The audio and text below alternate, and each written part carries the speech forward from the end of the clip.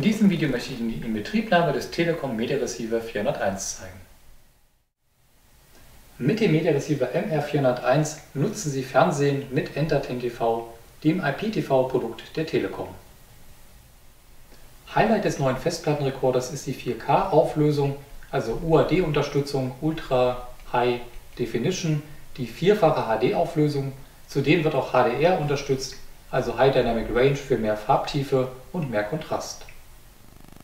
Zur Inbetriebnahme verbinden Sie zunächst das Netzwerkkabel mit dem Media Receiver. Hier liegt ein 10 Meter langes Kabel bei. Ich habe hier meine eigene Netzwerkverkabelung bereits im Haus installiert. Als nächstes erfolgt die Verbindung mit dem HDMI-Kabel.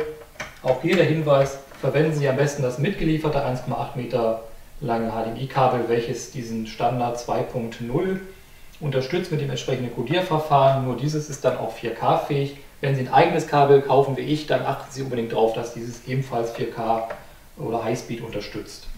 Als letztes kommt noch die Stromversorgung ans Gerät ran. Optional, wenn Sie haben, können Sie natürlich noch an die beiden Optical- oder Koaxialausgänge ein Soundsystem anschließen. Und anschließend schalte ich das Gerät jetzt ein. Während das Gerät hier einen Download der aktuellen Firmware durchführt, können Sie zum Beispiel schon die Batterien in die Fernbedienung einlegen und anschließend die Bedienung vorzunehmen.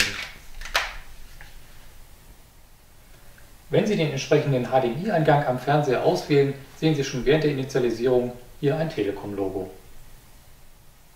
Das Gerät hat jetzt einmal neu gestartet, es wird jetzt hier auch nochmal angezeigt, es wird noch weitere Software nachgeladen. Die erstmalige Inbetriebnahme dauert im Regelfall etwa 20 bis 30 Minuten.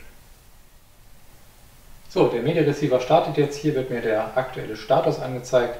Die Verbindung zum Internet wird hergestellt. Dann wird nochmals geprüft, ob die Firmware aktuell ist. Und dann werden die entsprechenden Inhalte geladen, also zum Beispiel die elektronische Programmzeitschrift. Viel Spaß mit Entertain TV. Ja, wie Sie gesehen haben, die Einrichtung ist kinderleicht und nach wenigen Minuten bereits abgeschlossen. Für die Verwendung des Media Receiver empfehlen wir entweder den Telekom Hybrid Router oder hier den Telekom Speedport Smart Router. Wenn Sie nicht die Möglichkeit haben, ein Netzwerkkabel vom Router zum Media Receiver zu verlegen, besteht wie beim Vorgängermodell gegebenenfalls auch die Möglichkeit, mit einer WLAN-Bridge oder einem Powerline-Adapter zu arbeiten. Aufgrund der hohen Bandbreitenanforderungen für UAD, also hochauflösendes Fernsehen in 4K-Qualität, ist darauf zu achten, dass die Geräte auch eine entsprechende Datendurchsatzrate haben, also möglicherweise ältere Geräte sind dann nicht kompatibel. Wenn Sie prüfen möchten, ob die UAD oder 4K-Verbindung optimal funktioniert, je nach TV-Hersteller gibt es bei mir hier zum Beispiel den Punkt Geräteinformationen, wo ich mir das Eingangssignal vom HDMI anschauen kann. Und tatsächlich, obwohl ich jetzt hier nur ARD in HD-Qualität aufgerufen habe, zeigt er hier ein UHD mit 2160p und 50 Bildern pro Sekunde mit SDR, also kein HDR in dem Fall. Das heißt also, hier erfolgt ein Upscaling vom HD-Signal auf 4K-Qualität. Im Menü des Media Receivers können dann noch einige Einstellungen geprüft und vorgenommen werden.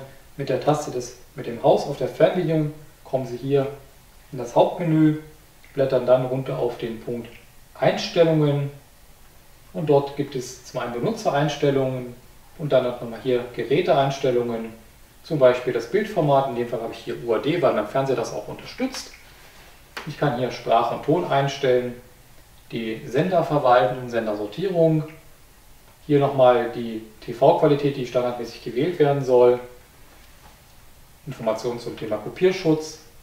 Dann der Stromsparmodus, auch das ist ja abhängig davon, wie Sie das Gerät nutzen möchten. Also ob Sie ihn zum Beispiel per Smartphone fernprogrammieren wollen oder ob ein Zusatzgerät angeschlossen ist.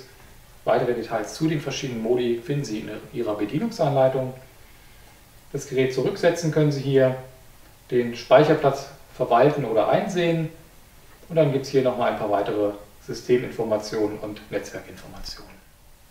Wenn Sie sich für Entertain TV mit dem neuen Media Receiver 401 interessieren, schauen Sie gerne auf unsere Webseite, dort finden Sie weitere Informationen.